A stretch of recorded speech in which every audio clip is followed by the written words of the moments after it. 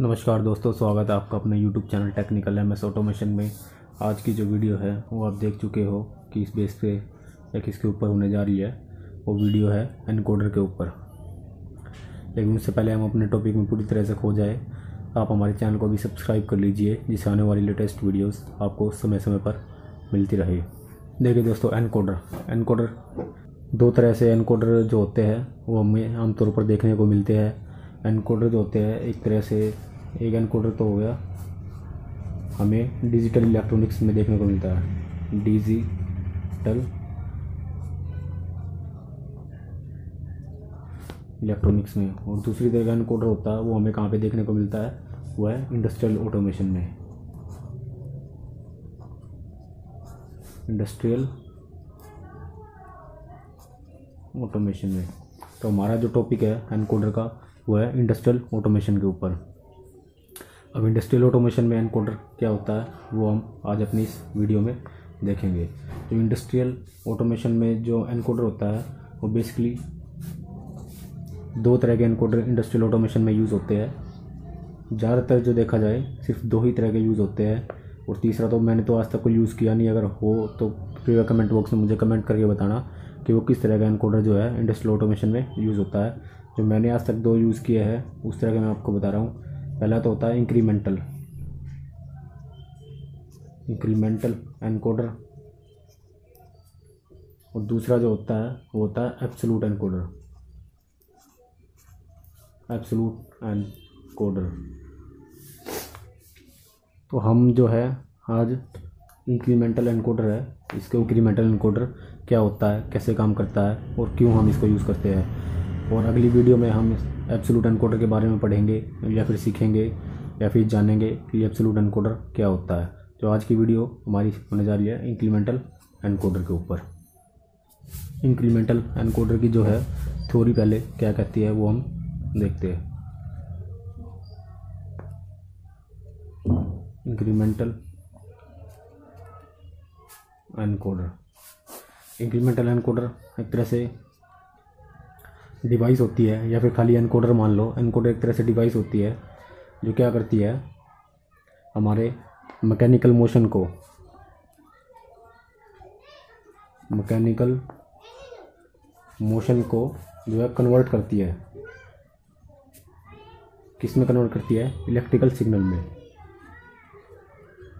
Electrical signal तो सिर्फ़ जो एनकोडर क्या होगा, इसकी मेन सिंपल सी थोड़ी यही होती है, जो मैकेनिकल मोशन को इलेक्ट्रिकल सिग्नल में कन्वर्ट करे, वो हमारा एनकोडर होता है, ठीक है?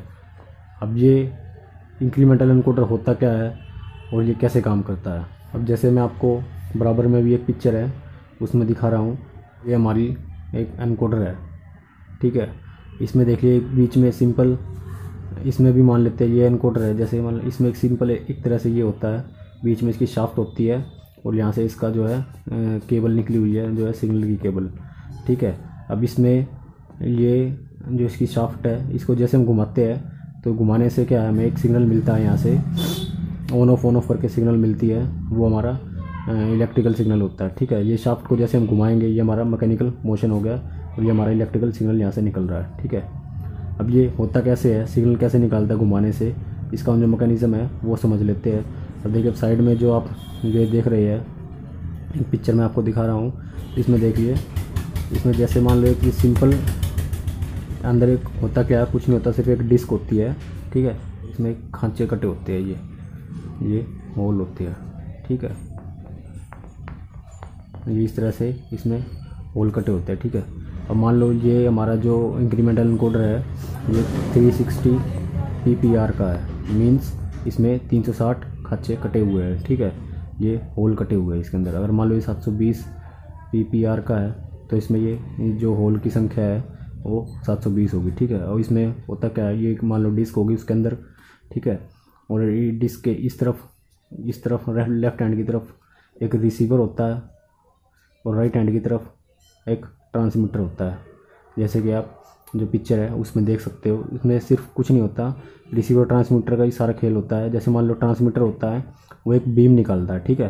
वो ये ट्रांसमीटर जो है यहाँ पे इसका जो ये, ये जो होल है होल के बिल्कुल ऊपर लगा होता है और ये जो रिसीवर है वो बिल्कुल नीचे लगा होता है ठीक है? ये ट्रांसमीटर जो है वो बीम निकालता है ठीक है?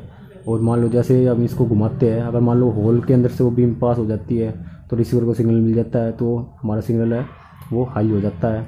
ठीक है, ये मान लो ये हमारा सिग्नल इस टाइम पे हाई हो गया, ठीक है, और जैसे ही हल्का सा आगे फिर घुमाएँगे तो फिर ये जो होल था वो आगे चला जाता है, और जो इसका ठोस सॉलिड एरिया है वो आगे आ जाता है, जिससे वो बीम पास होने से रुक जाती है तो हमारी जो वो है लो हो जाती है। ऐसे ही फ़िश को आगे घुमाते हैं तो फिर बीम जो होल में से क्रॉस हो गए रिसीवर को मिल जाती है, और यहाँ से सिग्नल हाई हो जाता है। इस तरह से जैसे जैसे घुमाते हैं, ये हमारा इस तरह से पल्स जनरेट हो जाती है। ठीक है, मान लो इसको पूरा घुमाएँगे, अगर 360 पीपीआर का हुआ तो 360 बार ये ऑन ऑफ़ हो जाएगा, और 720 का हुआ तो 720 बार ये ऑन ऑफ़ हो जाएगा। ठीक है, और ये पल्स को हम जो है अपने पीएलसी या फिर कोई भी इसका कंट्रोलर हो गया, उसकी हेल्प से हम काउंट कर लेते हैं, कितनी बार ये हाई हुई है। ठीक है तो यही बेसिकली हमारा जो है, इसी के बेस पे हम फिर, मान लो जैसे ये 360 पीपीआर का है तो एक राउंड घुमाएँगे तो 360 यहाँ पे बार हाई हो जाएगी ये।